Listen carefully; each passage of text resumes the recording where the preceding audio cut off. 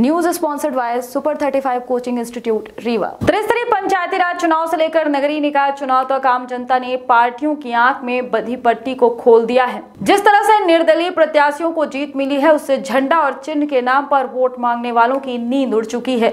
यही कारण है कि भाजपा और कांग्रेस ही अपनी पूरी ताकत झोंकने में लगे हुए हैं। ये इस बात से पता एक सप्ताह में मुख्यमंत्री को दूसरी बार रीवा ज़िले का दौरा करना पड़ रहा है और यहाँ तक कि रोड शो भी किया।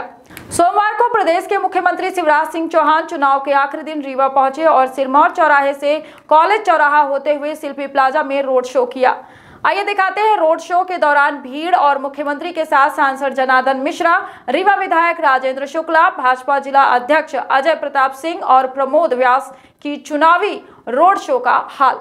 Bureau report Virat twenty four news